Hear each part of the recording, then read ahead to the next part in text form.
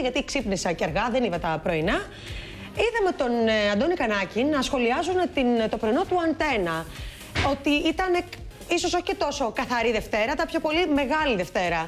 Λόγω του, των τραγουδιών, του ρεπερτορίου βασικά, είχε τις εμπεκές του, δεν είχε τα τσιφτετέλια Είχε του. το θα ανέβω και θα τραγουδήσω στο πιο ψηλό βουνό. Κάπως έτσι μάνα μου.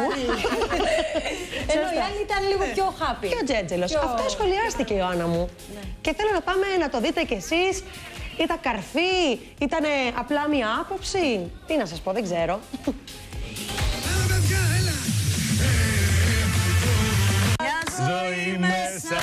Στους δρόμους. Πάσω κάτι. Καθαρά Δευτέρα στο πρωινό του Μέγκα, μεγάλη Δευτέρα στο πρωινό του Αντένα. Είμαστε πολύ μπροστά σαν εκπομπή. Θα ανέβω και θα τραγουδήσω Κυρίες και κύριοι, γύρω-γύρω καθαρά Δευτέρα, εκεί που είναι το πρωινό του Αντένα, μεγάλη Δευτέρα. Τι θα ήμασταν σαν όλους τους άλλους, δηλαδή που γιορτάζουν την καθαρά Δευτέρα, δεν βαρεθήκατε όλη η ελληνική τηλεόραση να γιορτάζει την καθαρά Δευτέρα. Με χιούμορ προσπάθησαν να καλύψουν την αμηχανία τους στο πρωινό αντένα με αφορμή το χθεσινοβραδινό βίντεο που έπαιξαν η Ράδιο Αρβίλα και έκανε σύγκριση και φιού ανάμεσα στο πρωινό μου και το πρωινό αντένα. Το δρόμο που μου δείχνεις θα βαδίσω Χτύπα, χτύπα τραπέζι εσύ, έτσι μπράβο. Χτύπα για να ξυπνήσουμε. Είμαστε μπροστά. Αυτό ήταν προγραμματισμένο. Έτσι, Γιατί τη επίτηδες Μεγάλη το Δευτέρα βεβαίως μπορούμε να παίξουμε επανάληψη εμείς. Το Μέγκα μπορεί; Όχι. Όχι. Οι συντελεστές της εκπομπής μετέδωσαν το εν λόγω απόσπασμα Μια Ζωή μέσα στους δρόμους. Πάσω κάτι. Αέρα σου έχουν πάρει τα μυαλά Ακόμα κάνεις όνειρα τρέλα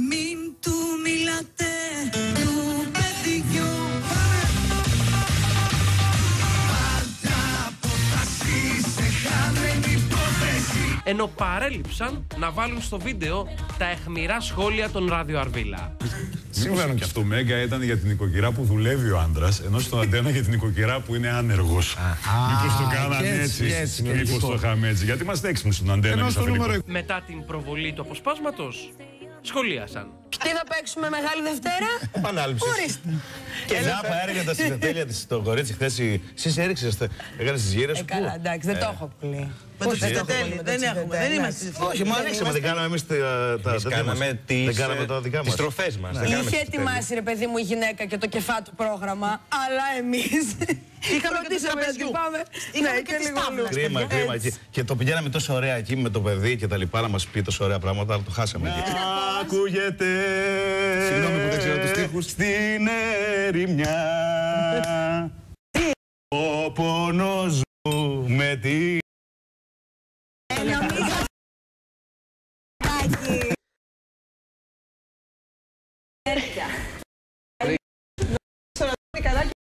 Σταματόπουλος. Εμείς θα παίξουμε τη μεγάλη ομάδα πάλι επανάληψη. Οι άλλοι δεν μπορούν να παίξουν επανάληψη. Ο Λιάννη με τη σκορδά. Θέλω βέβαια να πούμε το ότι το μεράκλωμα οφείλεται και λίγο στο ότι ο Χρήστος Φερεντίνος εχθές είχε τα γενέθλιά του. Είχε, τα είχε πιει και λίγο. Ναι, λίγο. να σου πω κάτι. Πολύ βαρύ, ρε παιδί μου το. Ήθελε παραγγελία στα γόρι. Πολύ βαριά τραγούδια. Έχει- έχεις και, σεκρέτια και όταν ο έχεις άνθρωπος. απέναντι τον Γιώργο Τσαλίκη, ο οποίος τα σπάει γενικώ Ναι, όπου ναι, και αν ναι. βρίσκεται και είναι πολύ happy. Αυτό. Του τραγούδια του, ναι.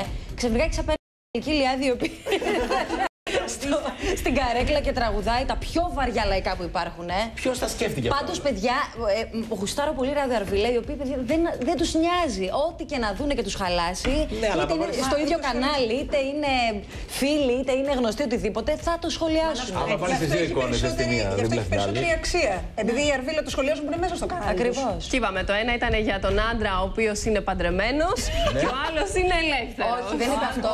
Αχ, κα- κατέβηκα μου. Σε βλέπω σήμερα. Άλλοι που είναι άνεργο και άνθρωπο που δουλειά. Και, Δεν πειράζει.